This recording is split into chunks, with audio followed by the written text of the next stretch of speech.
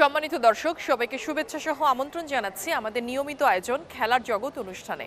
আমি মিশু চৌধুরী, আপনাদের সাথেই আছি। আমাদের আজকের পর্বটি সাজানো হয়েছে দেশি এবং বিদেশি খেলার খবর দিয়ে। শেখ কামাল দ্বিতীয় বাংলাদেশ যুব গেমস দুই হাজার তেইশের চূড়ান্ত পর্বের প্রতিযোগিতা চলছে। দুই হাজার আঠারো সালে যুব গেমসের প্রথম আসরে একুশটি ডিসিপ্লিনে প্রতিযোগিতা অনুষ্ঠিত হয়েছে। এবার ডিসিপ্লিন সংখ্যা চব্বিশটি। এবারের আসরে আন্ত উপজেলা আন্তঃজেলা ও চূড়ান্ত তথা জাতীয় পর্যায়ে সব মিলিয়ে আনুমানিক ষাট হাজার ক্রীড়াবিদ, ক্রীড়া সংগঠক, প্রশিক্ষক টিম, ম্যানেজার, টেকনিক্যাল কর্মকর্তা অংশগ্রহণ করেছেন। শেখ কামাল বাংলাদেশ যুব গেমসের অ্যাথলেটিক্সে পনেরোশো মিটার স্প্রিন্টে ছেলেদের বিভাগে আসলাম শিকদার এবং মেয়েদের বিভাগে নূপুর কর্মকার স্বর্ণপদক জেতেন। আর্মি স্টেডিয়ামে ময়মনসিংহের আসলাম শিকদার পাঁচ মিনিট উনিশ দশমিক আট শূন্য সেকেন্ড সময় নিয়ে সোনার পদক জয় করেন। আর এই ইভেন্টে নারী বিভাগে খুলনার নূপুর কর্মকার পাঁচ মিনিট বিশ দশমিক পাঁচ শূন্য সেকেন্ড সময় নিয়ে স্বর্ণপদক জেতেন। আলহামদুলিল্লাহ আমার গোল পেয়েছি, আমার অনেক ভালো লাগতেছে। আর আমি সবচেয়ে আগে ধন্যবাদ দিতে চাই বিকেএসপিকে বিকেএসপি না থাকলে আমি এতদূর আসার সুযোগ পেতাম না। আর তার সাথে ধন্যবাদ জানাই বাংলাদেশ যুব ক্রীড়া মন্ত্রণালয়কে এরকম সুন্দর একটা খেলার আয়োজন করে দেওয়ার জন্য। তরুণদের লং জাম্পে খুলনা বিভাগের মনিরুল মোল্লা ছ দশমিক ছ দুই মিটার অতিক্রম করে সোনার পদক জয় করেন। এদিকে তরুণীদের শট পুটে খুলনা বিভাগের জয়িতা দশ দশমিক দুই চার মিটার পার করে সোনার পদক জেতেন। রংপুরের মারিয়া শেখ রূপা এবং ব্রোঞ্জ জয় করেন চট্টগ্রামের তানজিনা। সবগুলো ইভেন্ট একসাথে পড়ি নাই মানে একই টাইমে পড়ি নাই। এখন আরও হকি হকি আর কাবাডি স্টেডিয়াম যেহেতু পাশাপাশি হওয়াতে বেশি সুবিধা হয়েছে, কারণ পাশাপাশি এই এই ইভেন্টটা খেলেও এই ইভেন্টটা খেলতে পারতেছি। আর এইটা খেলাটা শুনছিলাম তিনটাই ছিল। আল্লাহ রহমত যে এখন হয়েছে আমার আবার একটা হকি আছে ফাইনাল ম্যাচ সেহেতু এটা আমার জন্য ভালো হয়েছে আসলে আল্লাহর সব রহমত যে টাইমটা অ্যাডজাস্ট করে দিছে সেজন্য আমি খেলতে পারছি। এটা অবশ্যই ভালো লাগে, কারণ সবার মধ্যে অ্যাবিলিটিটা থাকে না, যেটা আল্লাহ আমার মধ্যে দিছে। এখন অবশ্যই আল্লাহকে সবসময় অসংখ্য ধন্যবাদ জানাই যে আমাকে অ্যাবিলিটিটা দেওয়ার জন্য। যুব গেমসে ইয়ার রাইফেলে দুটি স্বর্ণই জিতেছেন ঢাকা বিভাগের প্রতিযোগীরা। তরুণদের দশ মিটার ইয়ার রাইফেলে তিনশো তিন দশমিক নয় স্কোর করে ঢাকার জিদান হোসেন শ্রেষ্ঠত্ব প্রমাণ করেন। সিলেটের আজমাইন রাফিন, রূপা আর ঢাকার হৃদয় আহমেদ ব্রোঞ্জ জয় করেন। আর তরুণী বিভাগে তিনশো দশ দশমিক ন স্কোর করে সোনার পদক জেতেন ঢাকার জাফিরা খানম। একই বিভাগে ফাতেমা আক্তার, রূপা আর ব্রোঞ্জ জেতেন চট্টগ্রামের মাহদিয়া মাহনুর। ভেবেছিলাম শুটিংয়ে খুব বেশি হলে পঞ্চাশ জনের মতো টোটাল গেমসে আসবে, যে সেখানে আমরা দেখছি প্রায় সত্তর জনের মতো এসেছে। তো এটাই বোঝা যায় যে আসলে যুবদের মধ্যে কতটুক এটা রেসপন্স করেছে। এই রেসপন্সটাই বললাম আসল জিনিস। কারণ বিয়ের মূল লক্ষ্য, উদ্দেশ্য ছিল এই যুব সমাজটাকে এই গেমসের মধ্যে নিয়ে আসা। তো আমার মনে হয় তাদের লক্ষ্য উদ্দেশ্য যথেষ্ট পরিমাণে সাকসেসফুল এবং আমিও আশা করি এই সাকসেসফুলটা ধরে রাখার জন্য যা কিছু করার সেটা আমাদের করার একান্তই প্রয়োজন এবং আমার ভবিষ্যতে আমাদের যত ধরনের সহযোগিতা লাগে আমরা করতে ইচ্ছুক।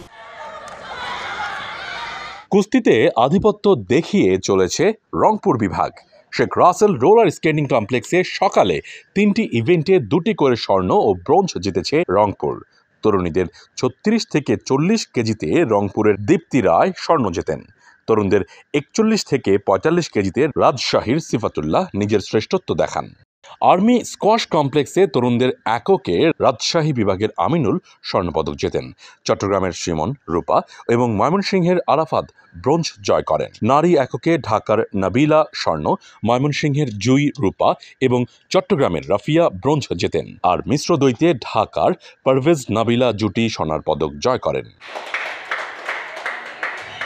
ওশুতে ষোলোটি পদকের জন্য লড়াই করছেন দুশো জন তরুণ এবং তরুণী। পল্টনের ভলিবল স্টেডিয়ামে শুরু হয় চার দিনের এই প্রতিযোগিতা। যুব গেমস থেকে পাঁচজন করে তরুণ তরুণী মোট দশ জনকে বাছাই করে দীর্ঘমেয়াদী প্রশিক্ষণের ব্যবস্থা করা হবে বলে জানান ফেডারেশনের কর্মকর্তারা। জাতীয় দলের পাইপলাইনকে সমৃদ্ধ করতে ট্যালেন্ট হান্ট করা হবে বলে জানান তারা। অনেক বড় একটি প্ল্যানিং আমাদের রয়েছে যে তৃণমূল পর্যায় থেকে খেলোয়াড় তৈরি করে বাছাই, বাছাইয়ের মাধ্যমে খেলোয়াড় তুলে আনা।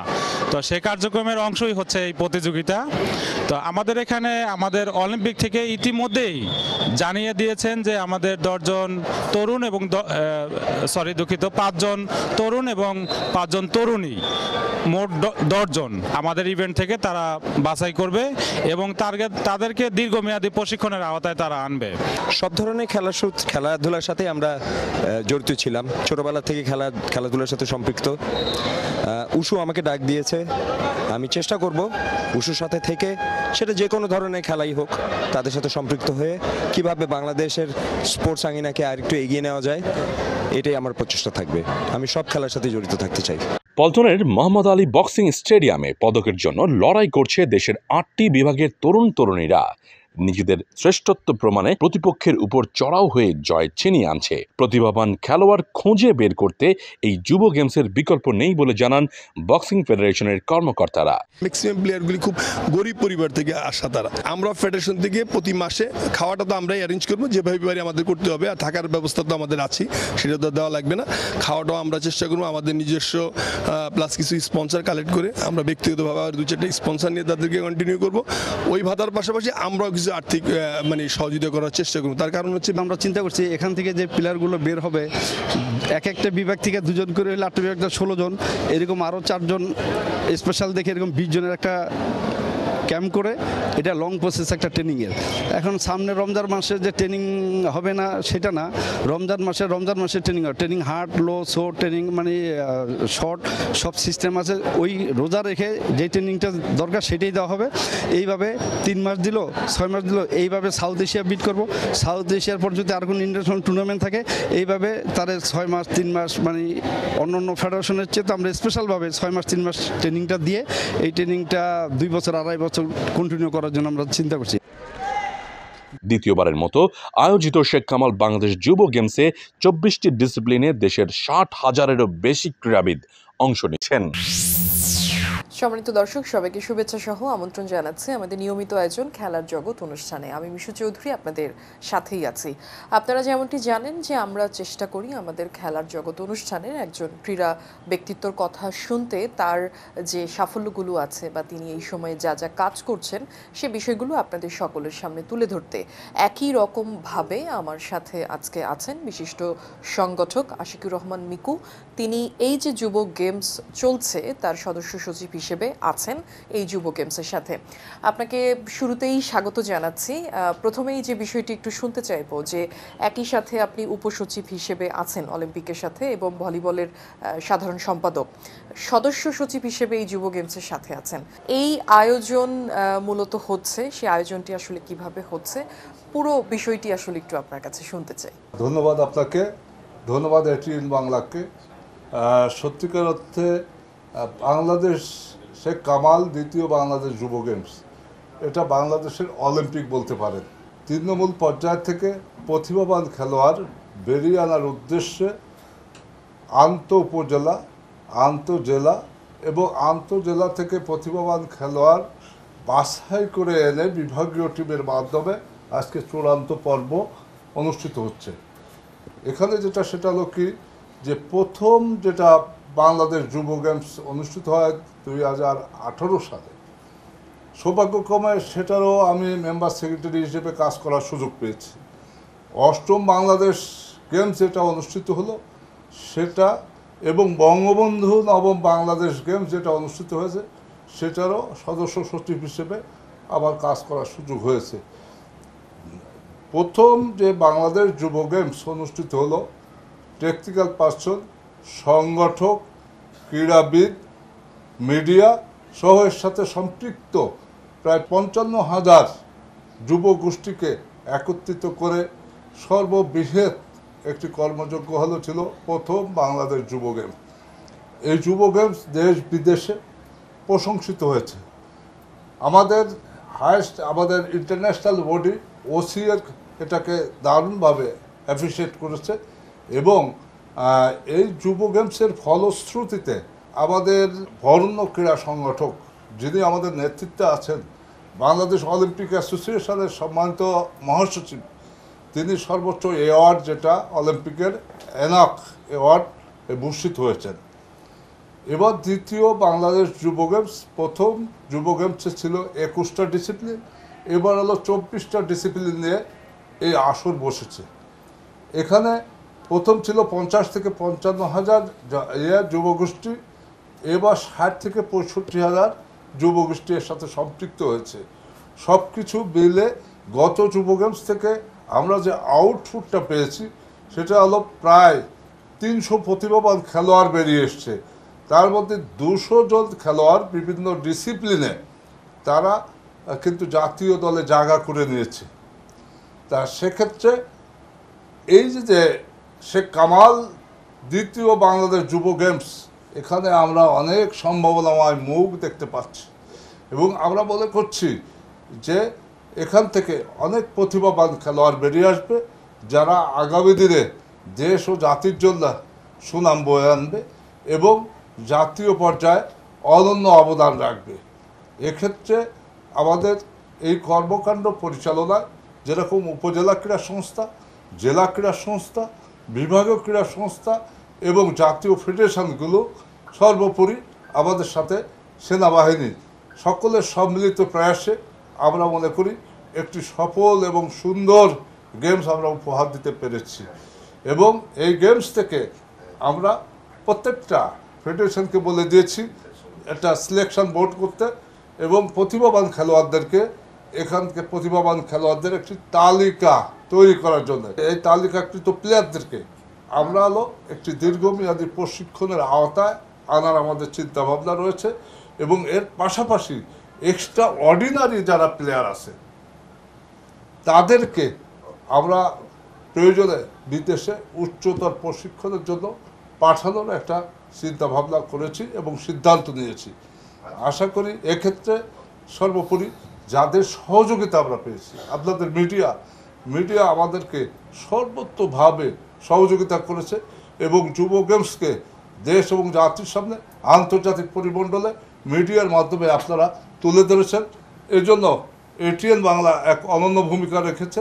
সবসময় আপনারা যেহেতু হান্টিংয়ের জন্যই এই গেমসটা আসলে করছেন বা এই ধরনের পদক্ষেপ নিয়েছেন, একটা বিষয় একটু জানতে চাই যে যখন আসলে প্লেয়াররা বাইরে কোথাও খেলতে যায়, তখন সবারই একটা আশা থাকে যে পদক আসলে আসবে।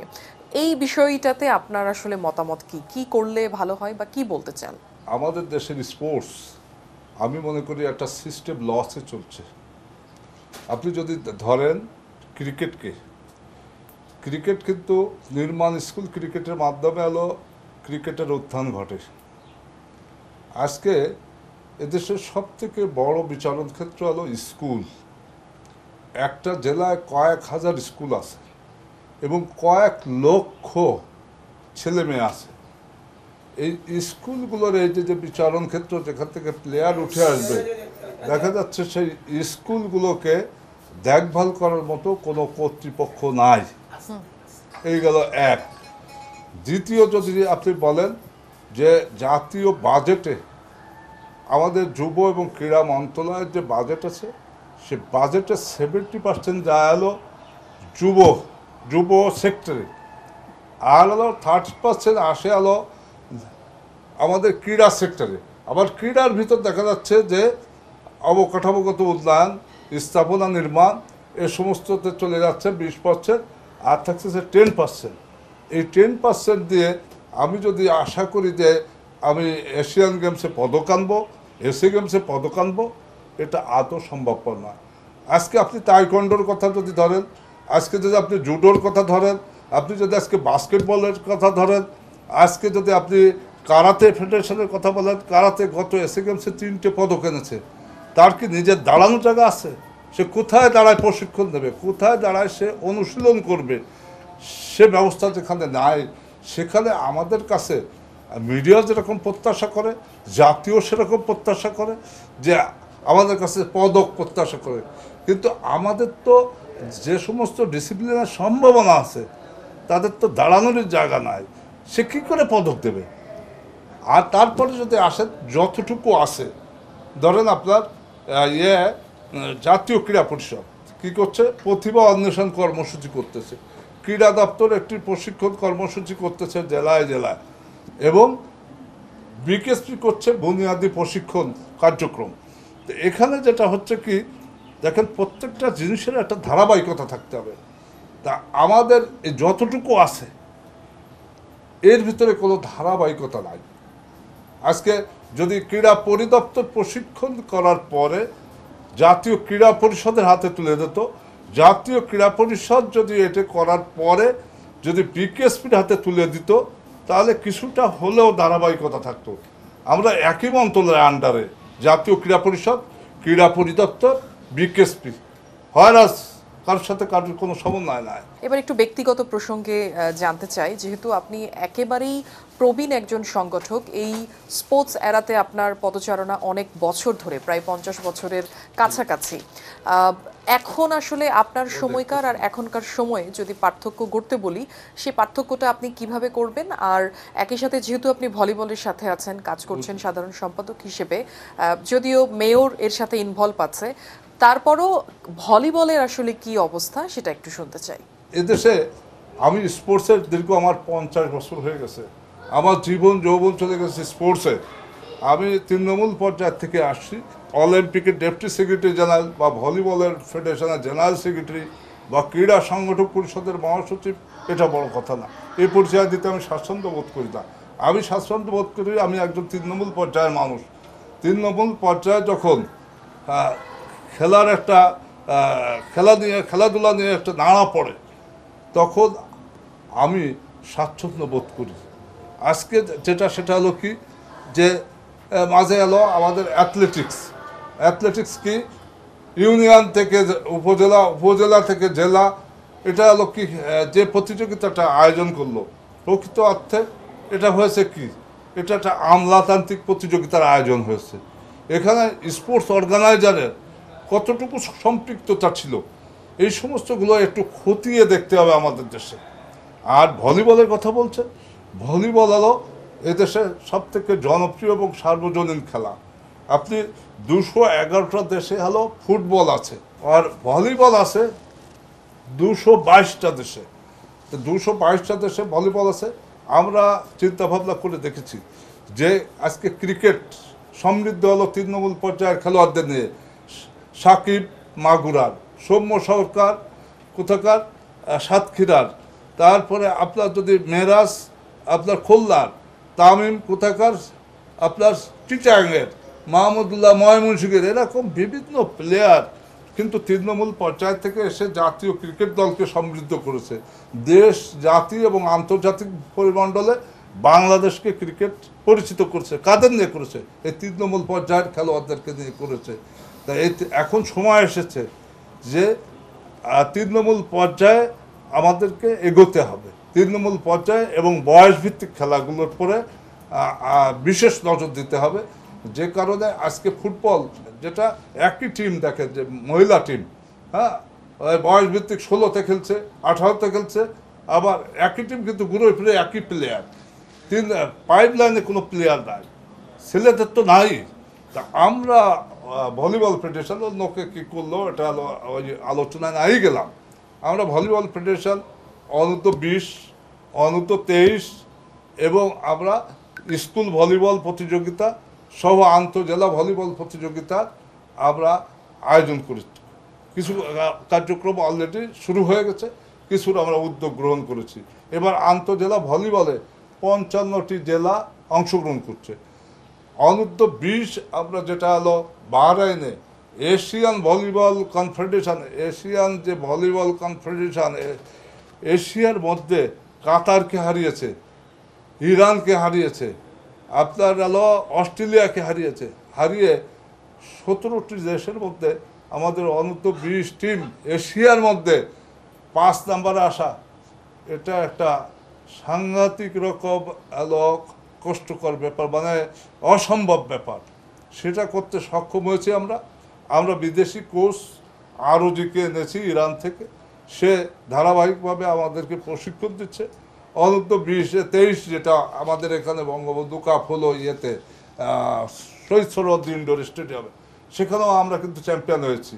এবং বিচ ভলিবল যেটা অনুষ্ঠিত হলো আমাদের কক্সবাজারে, সেখানে বারোটি দেশ, তার মধ্যে ষাটটি দেশ আসছে বিদেশ থেকে। সেখানেও আমাদের তৃতীয় নাম্বার প্লেস হয়েছে। আমাদের বিচ ভলিবল সম্বন্ধে কোনো ধ্যান ধারণা নাই। আমাদের বিচ ভলিবলের কোনো প্লেয়ার নাই। আমাদের বিচ ভলিবলের কোনো কোচ নাই। আমাদের যা আছে তাই নিয়ে কিন্তু আমরা চেষ্টা করেছি এবং আমরা তৃতীয় স্থান অধিকার করেছি। তা আমরা চিন্তা করছি আমাদের আগস্টে সম্ভবত, আগস্টে আমাদের তেহরানে একটি আন্তর্জাতিক প্রতিযোগিতা আছে। আমরা মে মাস থেকে আমাদের জাতীয় দলকে প্রশিক্ষণের আওতায় আনব। এবং আমরা আশা করতেছি আমাদের জাতীয় দল ভালো করবে এবং জেলা, উপজেলা সহ স্কুল ভলিবল, যুব ভলিবল, আন্তজেলা ভলিবলের যে কার্যক্রম হাতে নিয়েছি, তাতে করে ভলিবল আমি মনে করি যে আগের থেকে একটু সম্মানজনক জায়গায় আসছে এবং দেশ এবং বিদেশে ভলিবলের একটু পরিচিতি আসছে এবং অনেক প্লেয়ার কিন্তু পাইপ লাইনে আসছে যেহেতু এখন চূড়ান্ত পর্বের খেলা চলছে এই যুব গেমস থেকে সবাই তো আসলে পার্টিসিপেট করেছে বিভিন্ন বিভাগ থেকে জেলা থেকে যে যে জায়গা থেকে পেরেছে সবাই আসলে এসেছে। প্লেয়ারদের জন্য আসলে কি থাকছে বা কোন ধরনের ব্যবস্থা আপনারা আসলে করেছেন? মূলত এই যুব গেমসের উদ্দেশ্য হলো প্রতিভাবান খেলোয়াড়দেরকে বেরিয়ে আনা। এবং আমরা বিভিন্ন ডিসিপ্লিনে আমার বক্তব্যে ইতিপূর্বেই বলেছি বিভিন্ন ডিসিপ্লিনে আমরা প্রতিভা চিহ্নিত করার জন্য প্রত্যেকটা ফেডারেশনকে সিলেকশন বোর্ড করার নির্দেশ দিয়েছি। তারা প্রতিভাবান খেলোয়াড় মোটামুটি নির্ধারণ সিলেকশন করেছে। এবং এর থেকে সেই প্লেয়ারদেরকে দিয়ে আমরা একটা কোচিং প্রোগ্রামে যাচ্ছি। আর যারা এক্সট্রা অর্ডিনারি আছে প্লেয়ার তাদেরকে আমরা বিদেশে যাতে করে উচ্চতর প্রশিক্ষণ দিতে পারে, সেই সুযোগটা করে দেওয়া হবে। মূলত প্রতিভাবান খেলোয়াড়দেরকে তুলে আনা। এই যুব গেমসের মূল উদ্দেশ্য এবং লক্ষ্য। অসংখ্য ধন্যবাদ আপনাকে আপনি আজকে সময় দিয়েছেন। ধন্যবাদ এটিএন বাংলাকে আপনাকে। প্রিয় দর্শক, এই ছিল আমাদের আজকের খেলার জগৎ অনুষ্ঠানে। আমরা চেষ্টা করেছি যে যুব গেমস হচ্ছে, এই যুব গেমসের মাধ্যমে আসলে কি ধরনের পদক্ষেপ নেওয়া হচ্ছে প্লেয়াররা সেখানে কতটুকু কি পাবে আসলে, তাদের নিয়ে কেমন ধরনের পদক্ষেপ নিয়েছে বা নেওয়া হচ্ছে সেই বিষয়গুলোই আমরা চেষ্টা করেছি আপনাদের সামনে তুলে ধরতে। সাথে থাকুন খেলার জগতে দেখতে থাকুন এটিএন বাংলা